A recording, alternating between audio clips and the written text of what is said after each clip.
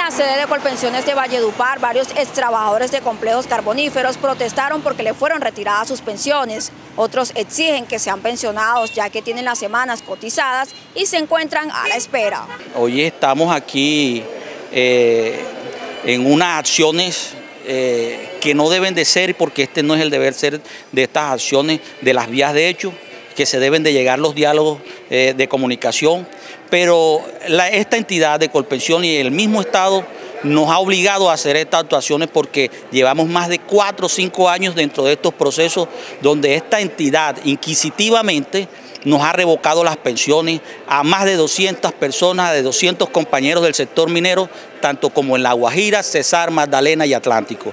Y hoy estamos aquí en pie de lucha hasta que no haya un pronunciamiento del Ministerio de Trabajo y por parte de, la presidencia de la Junta Directiva de Colpensiones, no vamos a cesar nuestras actividades que por derecho y por constitución nos han dado, nos han dado la ley, nos han dado la norma le hemos pedido que nos recalifiquen. En el caso mío me recalificaron dándome un porcentaje de 57.4 el año pasado y vengo ahora a pedirles que cómo va el proceso mío y dice que no aparece.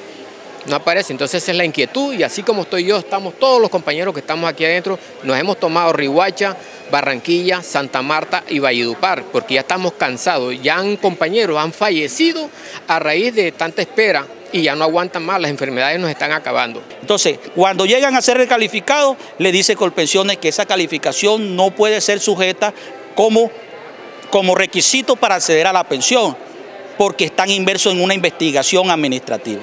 Entonces, por eso estamos hoy aquí diciendo a las Colpensiones que nos devuelvan nuestras mesadas pensionales, que ya no más, ya hay compañeros que se han muerto, compañeros que se han suicidado porque no tienen el sustento de la familia, no tienen el sustento económico, inclusive para que sus hijos asistan a la universidad, a sus estudios secundarios, tampoco tienen ese sustento y han pasado cuatro años. Mira, yo fui pensionado en diciembre del 2015.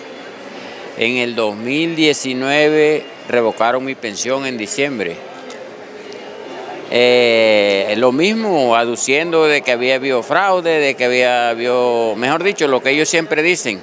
Duré año, 15 eh, meses sin que me pagaran.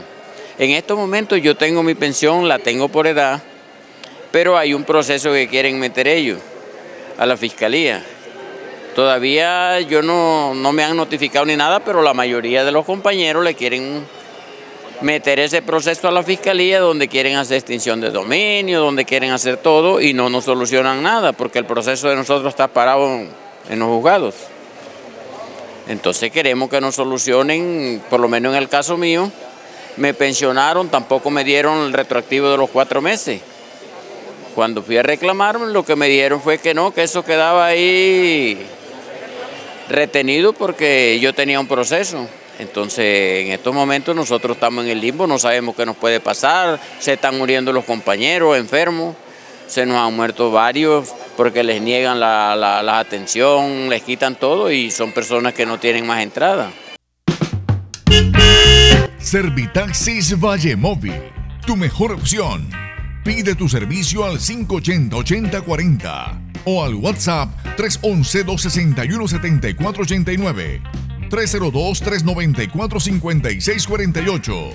Síguenos en nuestras redes sociales.